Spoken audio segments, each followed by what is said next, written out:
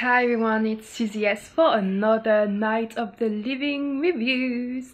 And so tonight actually the movie I'm gonna watch uh, is a movie that's been recommended to me by my friend Arno and is uh, Grave Encounters as you could uh, see in the title of this video. And so the plot is that a um, a crew of a uh, ghost hunting reality TV show are going to lock themselves into an abandoned um, into an abandoned sanitarium. Um, and so it looks like it's haunted but it can also cannot be haunted but of course it is. I mean just by reading the like i mean yeah of course otherwise they won't make a movie about it uh, from what Arno was telling me uh, when he told me about that movie, it it seems actually pretty good and like my kind of movie, and uh, hopefully I'm actually going to like it, and I will see you after that uh, I've watched it. A tape arrived to the mail.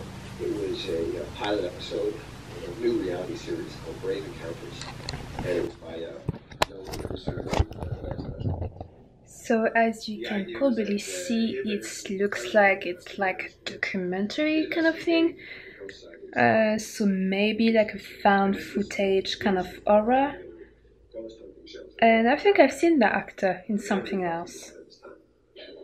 From my recollection of his face, if it's actually him, he only plays bastards. So, yeah, let's see what it's actually about. So I've just finished um, watching Grave Encounters and then realized how late it was when I started filming. I did the other video before and I started this one and now it's 2 o'clock. Uh, in the morning that is and so uh, because it's late and because I start to be a bit tired uh, surprisingly or not I'm gonna try to make this quick so I can uh, summarize this in a short version in three points beginning was like um, what are you trying to do now? Um, meh. Middle was meh. Okay, maybe it's good. Middle to the end was okay.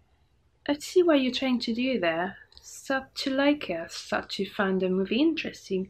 The end was like, okay, yeah, now I get it. Huh. It's a movie worth watching, maybe. Uh, so yeah, so that's what I um got back from this watching this movie. It's definitely maybe worth watching. I'm not sure actually. Uh, it's an hour thirty-ish. Uh, it felt longer than that. it felt it felt pretty long. Uh, maybe it's in a way it's kind of good because in the movie, um, like you heard me talk about, it's um, a crew of a TV show who are trapped or trap themselves in a um, abandoned um, psychiatric hospital. And the way throughout the night it feels like the time's going faster. At some point it feels like the time's going slower uh, than it should and they start to go crazy. So maybe you know in that way uh, in that sense it's uh, good that this movie feel like longer than actually is.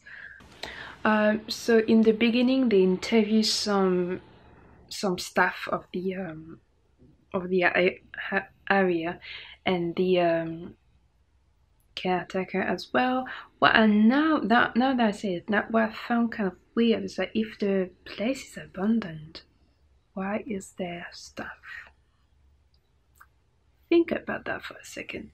If the place has been abandoned, for a very long time. Why is there still staff attending the, the place? Let's stay polite.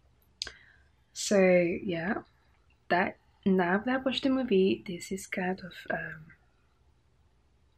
that's fishy. Uh, and also, it's uh, obviously fake. The thing that um, that wrote down, it's, I mean, like with all shows like that um, in real life, you can see how it's fake. It's like all the detail, obviously. And uh, watching it, I was like wondering if the acting was bad or if it was the script that was bad. At some point, I thought, oh, maybe it's both, or maybe it's just the actors are good, but the scripts are is not that great. Um, maybe it's a wanted um, uh, result, and yeah, I'm not quite sure about that. I wrote about the uh, host of the show is an arrogant, know-it-all host. And what I didn't write about him was that um, just a swear word. It was like he's a bit of a prick, basically. Um, yeah, he's like I said, he's a he's a know-it-all. It's like, no, I don't want to do it this way. I want to do it this way. Just listen to me, all right? Uh, that kind of person gets angry when people are not listening to him. Uh, about that movie, also this movie made me think of the game The Evil Within Us because The Evil Within Us, if you don't know the game, is set also when it starts in a uh, sanatorium, and then the main character needs to find uh, one of the patients, and some of the scenes, there's some of the scene where they're trying to, um, not trying to.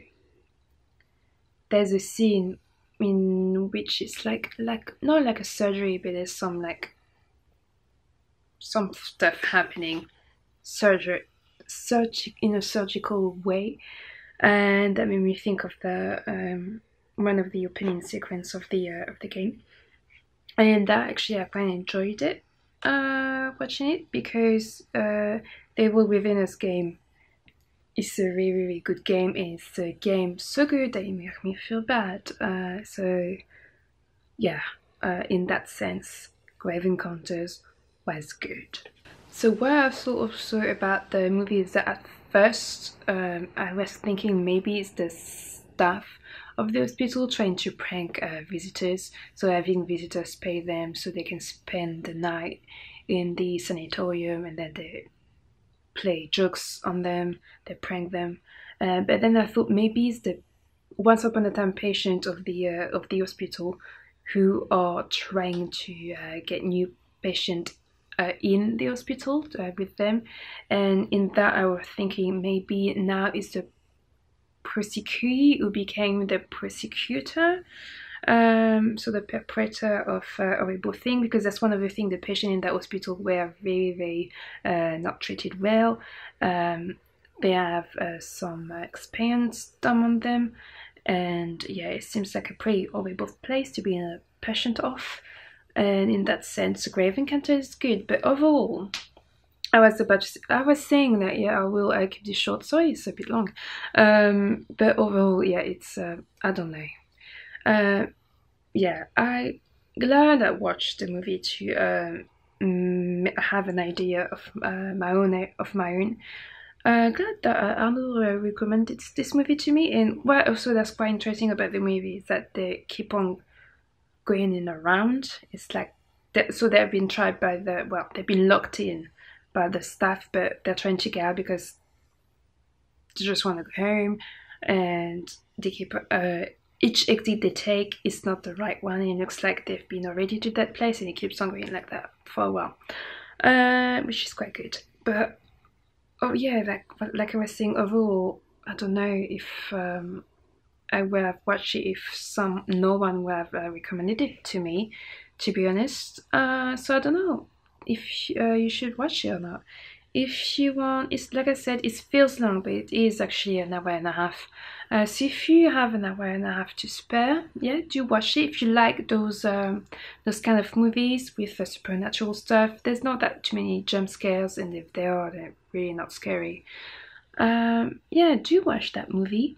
Uh, if you decide to watch that movie, do let me know, please, what you think about in the comments down below um, because maybe because it's 2 a.m. like I said and I don't know what to think anymore uh, or maybe because I need to watch that movie also there's a Grave Encounters 2 and what Arnold told me about it is that it complements the the first Grave Encounters. So maybe I'm gonna try and watch the uh, Grave Encounters 2 to see if I can understand Grave Encounters number 1 better. Uh, but if you do before me, do tell me in the comments. And also something I'm gonna try and to do uh, something new. Uh, I will put a link uh, down below in the description of uh, vocabulary around the movie I just watched and some so around the about the movie and around the uh, theme of the movie. So this theme is a ghost supernatural stuff. So uh, just so you can learn some new English vocabulary. Uh, if you found this helpful, tell me in the comments. Uh, give it a thumbs up. Don't forget to subscribe and click that on that notification bell to receive notification of uh, when I post new videos. Uh, share the video on your social media and I will see you soon. Bye.